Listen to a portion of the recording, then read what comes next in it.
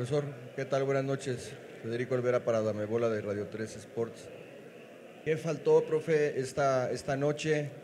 Eh, en la ida se me antoja que igual en esas, esas ventanas de cambio yo veía muy cansado al nene y, al pocho, pero ¿no será que igual y se dejó de hacer allá? ¿O qué sucedió hoy? ¿Por qué no se, se logró el pase? Buenas noches a todos. Creo que hoy el partido durante los primeros 45 minutos lo teníamos controlado estábamos generando las situaciones donde queríamos generar. Eh, obviamente que después con el inicio del partido tratamos de buscar ser un poco más directos, sabiendo que teníamos que buscar un gol. Eh, una, jugada de balón detenido, cosa que, que, lo habíamos trabajado, que habíamos pensado también que podía ser eh, un arma que ellos tenían para atacar. Nos hicieron el gol y después tuvimos un poco de desesperación en ir a buscar el gol, pero, pero toca seguir, toca seguir trabajando, toca volver, volver a iniciar. Ahora viene un descanso, viene la pretemporada y volver a seguir trabajando. Hola Fernando, por acá, Gibran Araige de TUDN. Eh, buenas noches. ¿Con qué sensación te quedas del torneo eh, de, Guadalajara, ¿no? que, arrancó ahí como con algunas dudas y terminó siendo un equipo poderoso que llegó a la semifinal, se le plantó al campeón, estuvo cerca de, llegar a la final? ¿Cuál es eh, tu calificación que le darías al torneo de Chivas? A ver, hoy hacer una calificación es negativa porque la idea nuestra era poder jugar una final. Ese era el pensamiento que teníamos desde el inicio del torneo y a partir de eso tratamos de trabajar. Eh, el análisis se hará más en frío cuando pasen los días. Hoy es, es difícil porque hay bronca, hay, dolor de, de quedar eliminado. Buenas noches, Fernando Carlos Daniel Salgado de Azteca Deportes. Normalmente la gente de Chivas hace una muy buena entrada en el Estadio Azteca y siempre que es eh, un clásico en liguilla pues esperan ¿no? avanzar. No se diga con los antecedentes recientes que habían venido a remontar un marcador aquí. ¿Crees que se le falló a la afición del rebaño al perder contra el odiado rival?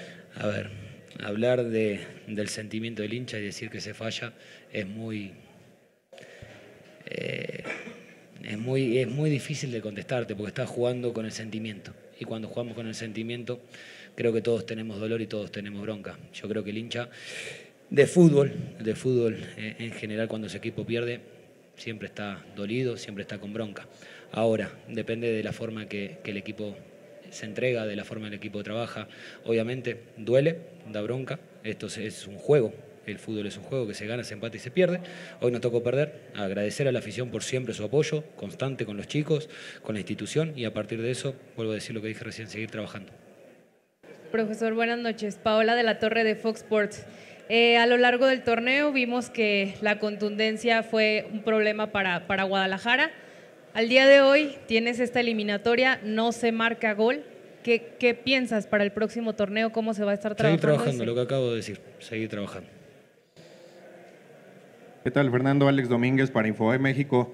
Eh, se entiende que son dos torneos diferentes, pero hace dos meses vinieron aquí y se quedaron por, por momentos cerca de, remontar la eliminatoria. ¿Cuál sería el, principal factor que viste de aquel partido donde metieron tres goles al partido de hoy? Todo partido de fútbol es distinto. Todo partido de fútbol es distinto. Son momentos diferentes de cada futbolista. Eh, no se puede analizar de un partido de hace dos meses a un partido ahora en comparación. Buenas noches, profesor Adolfo Díaz Rufo.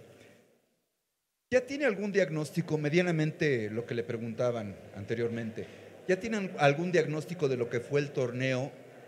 En general vimos un torneo de altibajos, de bandazos.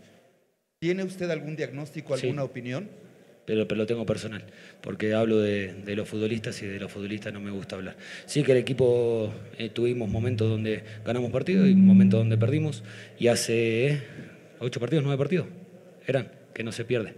Entonces eso también es importante. Hay muchos aspectos para analizar, pero del análisis lo hago individualmente puertas adentro. Profe, buenas noches. Tate Gómez Luna de TUN Radio. Ya le preguntaron de la contundencia. Yo le quisiera preguntar del tema del cero atrás. Seis partidos, más de 500 minutos. ¿Qué le generó? ¿Se generó una mística al no recibir gol y al momento que cae, cómo lo tomó en el momento del partido? A ver, no, no, no me gusta hablar de, y lo dije en la conferencia pasada, el equipo es un todo el equipo ataca y defiende. Defienden 11 y atacan 11. Porque nosotros también tratamos de utilizar el portero para, para todo lo que sea, para atacar.